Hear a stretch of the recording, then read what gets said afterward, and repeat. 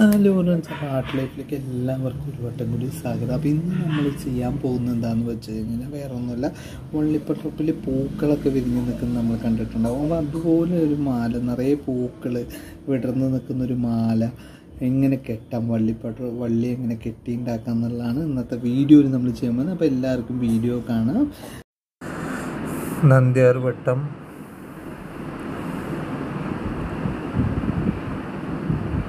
അരളിപ്പൂവ് എന്നിവ വെച്ചാണ് ഇന്നത്തെ മാല കെട്ടുന്നത്.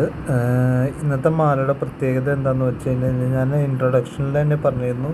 നമ്മളെ കാട്ടിൽ വള്ളിച്ചെടികൾ പൂത്ത് നിൽക്കുന്നത് കണ്ടിട്ടില്ലേ? അതായത് പല കളറിലുള്ള പൂക്കൾ ഒരു വള്ളിച്ചെടിയുടെ മേലെ നിൽക്കുന്നുണ്ട്. അതായത് അങ്ങനെയുള്ള ഒരു മാലയാണ് കെട്ടാൻ പോകുന്നത്. കാണുമ്പോൾ നമുക്ക് ഒരു വള്ളിച്ചെടിയുടെ മേലെ നിറയെ പൂക്കൾ പൂത്ത് നിൽക്കാൻ തോന്നും.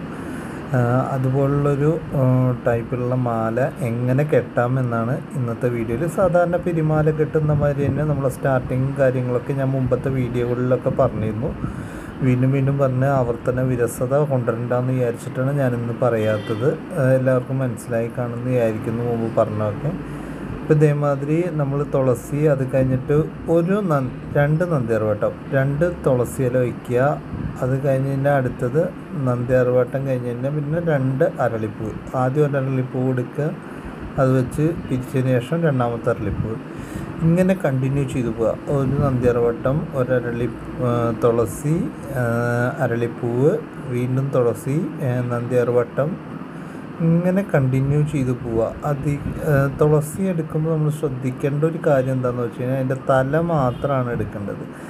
തുളസിയുടെ തല മാത്രം അതിലാണ് ധാരാളം പൂവുണ്ട് അപ്പോൾ വാങ്ങുന്ന തുളസിക്ക് നിങ്ങൾ ശ്രദ്ധിച്ചാൽ കാണാം തണ്ട് കുറേ നീളത്തിലുണ്ടെങ്കിലും അതിന്റെ തലപ്പത്ത് കുറച്ച് പൂവേ ഉണ്ടാവുള്ളൂ അപ്പോൾ അതാണ് എടുക്കേണ്ടത് കേട്ടോ. ഇതേ ഇതേമാതിരി നമ്മൾ കെട്ടിയിട്ട് ഇപ്പം തന്നെ നമുക്ക് കെട്ടുമ്പോൾ കാണുമ്പോൾ കാണാം ആ പച്ചയും വെള്ളയും പിങ്കും ചേർന്നിട്ടുള്ള ഒരു പ്രത്യേക ഭംഗി കാണാം ഈ മാലയ്ക്ക്.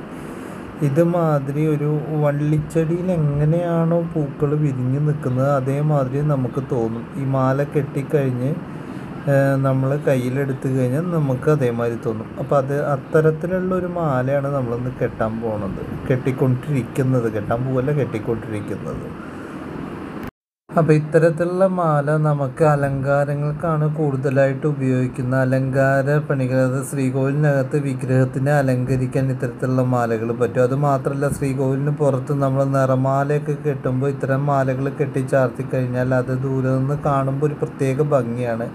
കളർ മിക്സ് ചെയ്തിട്ട് ഇങ്ങനെ കുറേ തൂക്കുമാലകൾ കിടക്കുമ്പോൾ ഒരു പ്രത്യേക ഭംഗിയാണ് കാണാൻ വേണ്ടിയിട്ട്. ഇത് നമുക്കിപ്പോൾ നന്ദിയാർവട്ടവും അരളിപ്പൂവും ആണ് ഇപ്പോൾ എനിക്ക് കിട്ടിയത്. അപ്പോൾ അത് വെച്ചിട്ട് ഞാൻ കെട്ടി. ഇതിന് പകരം നന്ദിയാർവട്ടം തെച്ചിയ അരളിപ്പൂവ് ഡിഫറെന്റ് കളറായിട്ട് ഇപ്പോൾ ഇതിലിപ്പോൾ ഞാൻ രണ്ട് കളറ് മൂന്ന് കളറാണ് വരുന്നത്. പിങ്ക് വെള്ള പച്ച. ഇത് തന്നെ നമുക്ക് നാലും അഞ്ചും കളറൊക്കെ ആയിട്ട് കെട്ടാം. അങ്ങനെ വരുമ്പോൾ നല്ല ഭംഗിയുണ്ടായിരിക്കും മാല കാണാൻ വേണ്ടിയിട്ട്.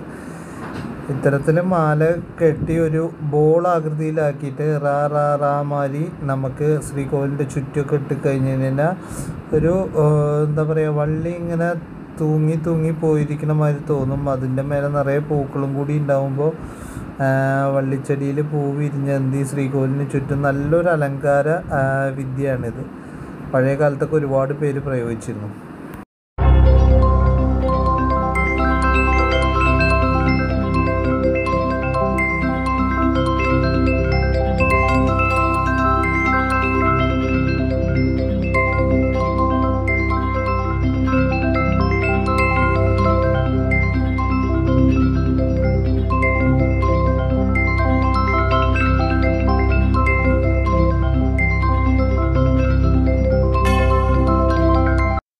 നമ്മുടെ ഒരു സുഹൃത്ത് നമ്മളെ യൂട്യൂബ് സബ്സ്ക്രൈബർ നമ്മളോട് പൂക്കുലമാല കെട്ടുന്ന എങ്ങനെയെന്ന് കാണിച്ചു തരാൻ പറഞ്ഞിരുന്നു. അപ്പോൾ നമുക്ക് പൂക്കുല ഇവിടെ തൃശ്ശൂരാണ്. പൂക്കുല കിട്ടാൻ ഇത്തിരി പാടാണ്. ഉണ്ടെങ്കിൽ തന്നെ അത്യാവശ്യം നല്ല വിലയും വരുന്നുണ്ട്. പൂ പൂക്കടയിലൊക്കെ നല്ല വിലയ്ക്കാണ് കൗങ്ങും പൂക്കുല കൊടുക്കുന്നത്. എന്തായാലും ഞാൻ പൂക്കുല സംഘടിപ്പിച്ചിട്ട് ഒരു മാല കെട്ടി കാണിക്കുക എങ്ങനെയാണ്. പൂക്കുല കൊണ്ട് ഒരു നാലഞ്ച് ഡിസൈനിൽ മാല കെട്ടാൻ അറിയാം. പക്ഷെ അത് നമുക്ക് പൂക്കുല കിട്ടിയിട്ടില്ല എന്നുള്ള ഒരു ഇതുകൊണ്ട് ഞാൻ ആ വീഡിയോ ഇടാത്തതാണ്. പിന്നെ അതേമാതിരി കൂവളമാല മറന്നിട്ടില്ല. കൂവളമാല ഞാൻ കെട്ടി നമ്മളുടെ വീഡിയോസിന്റെ കൂടെ ഇടുന്നതാണ്.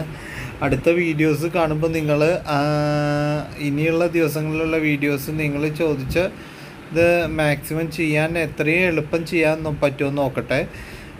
ഞാൻ അതിന് വേണ്ടിയിട്ട് അന്വേഷിച്ചുകൊണ്ടിരിക്കുന്നുണ്ട്. എത്രയും പെട്ടെന്ന് തന്നെ ഞാൻ വീഡിയോസ് ചെയ്യാം.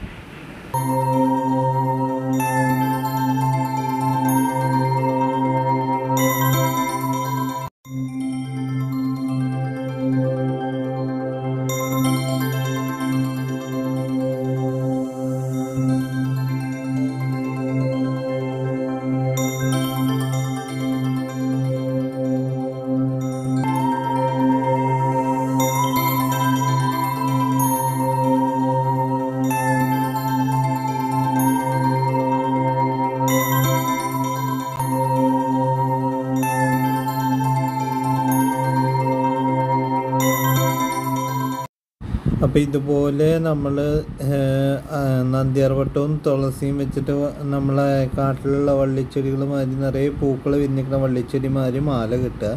അപ്പോൾ എല്ലാവർക്കും ഈ മാല കിട്ടുന്നത് ഇഷ്ടപ്പെട്ടു എന്ന് വിചാരിക്കും. ഇത്തരത്തിൽ മാലകൾ നമ്മൾ ഭഗവാന് ചാർത്തുമ്പോൾ ആ ഭഗവാന് ചാർത്തിയിട്ട് അത് നമ്മൾ കണ്ട് തൊഴുമ്പോൾ അതിൽ നിന്ന് കിട്ടുന്ന ഒരു എനർജി നമുക്കൊരു പ്രത്യേക എനർജി തന്നെയാണ്.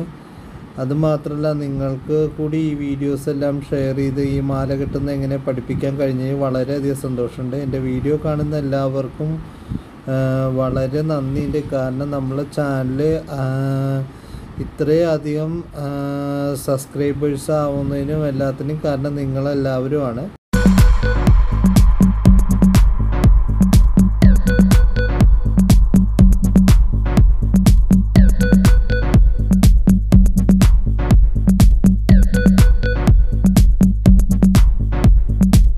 അപ്പോൾ വീഡിയോ എല്ലാവർക്കും ഇഷ്ടപ്പെട്ടു എന്ന് വിചാരിക്കുന്നു. അപ്പോൾ ഇതുപോലുള്ള വീഡിയോസ് വെറൈറ്റികളായിട്ടുള്ള മാലകൾ കാര്യങ്ങളെല്ലാം എന്റെ വീഡിയോസിൽ വരും. അതുകൂടാണ്ട് നമ്മൾ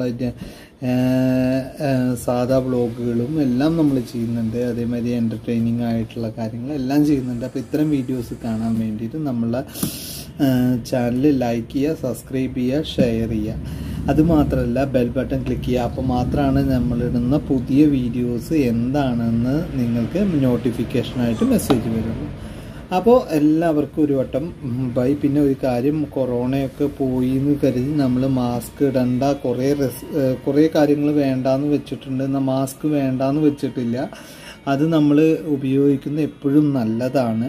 കാരണം എന്താ വെച്ച് കഴിഞ്ഞാൽ അന്തരീക്ഷത്തിൽ അത്രയും മലിനമായിട്ടുള്ള പൊടികളുണ്ട്. അത് നമ്മുടെ ശരീരത്തിലെ ശ്വാസകോശത്തിൽ ചെല്ലാണ്ടിരിക്കാൻ ബെസ്റ്റാണ് അപ്പോൾ നിങ്ങൾക്ക് തോന്നും പഴയ കാലത്ത് എല്ലാവരും മാസ്ക് വെച്ചിട്ട് പഴയ കാലത്ത് എന്തിയല്ല ഇന്നത്തെ അവസ്ഥ എന്നെല്ലാവരും ഓർക്കുക. മാസ്ക് നിങ്ങൾക്ക് താല്പര്യമുണ്ടെങ്കിൽ ഉപയോഗിക്കാൻ. കേസെടുക്കില്ല എന്തായാലും പോലീസ് പക്ഷേ മാസ്ക് ഉപയോഗിക്കുന്നതാണ് എപ്പോഴും നല്ലത്. അപ്പോൾ എല്ലാവർക്കും ബൈ